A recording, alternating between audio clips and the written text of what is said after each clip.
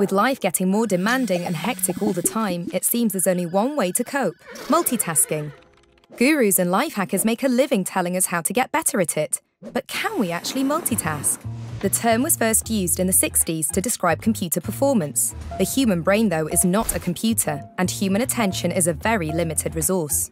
Some psychologists model visual attention as being like a spotlight. It can only be shone in one direction at any one time. Our primary focus, what we're paying most attention to, is like the brightly lit area in the centre of the beam. It can also be understood as being like a zoom lens. We can choose to narrow our focus to concentrate in detail, or widen it to be aware of more things simultaneously. But we can't be zoomed in and out at the same time.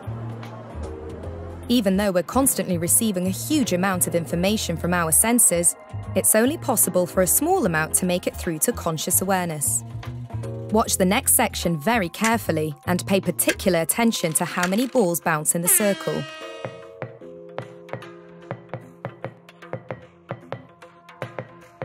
How many can you count? Seven, right? But did you also notice that little dinosaur? What about the changing shape of the circle? Or the smiley face on one of the balls? This shows just how powerful focused attention is. Being able to filter out irrelevant detail is an amazingly useful tool, but it means we can miss things that are right under our noses. An effect known as inattention blindness. You can see this very clearly in the famous invisible gorilla experiment. When asked to concentrate exclusively on how often basketball players in white pass the ball, most people completely miss the gorilla walking across the screen and beating his chest. We just don't have the capacity to process everything at once. This is a particular problem when we try to multitask. We can switch attention from one task to another and back again. But when attention is overloaded, we miss things, and the result is nearly always that we perform tasks less well than we would doing them one at a time. It's only truly possible to do two things at once if they require different sets of cognitive resources. For example, it's totally possible to read a book and listen to music at the same time. Which would suggest that driving while talking on the phone is not a problem, as long as it's a hands free phone. It's not that simple though.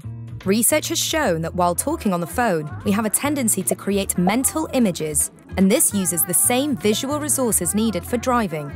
And if visual resources become too stretched, it's perfectly possible for a driver to look directly at a hazard, but, just like with that little dinosaur, fail to see it. Not everything will make it through to conscious awareness. So multitasking makes us at best inefficient and at worst, downright dangerous. If you're feeling like you should be doing 17 things at once, remember, that's just not the way your brain is wired. Thanks for watching. Don't forget to subscribe and click the bell to receive notifications for new videos. See you again soon.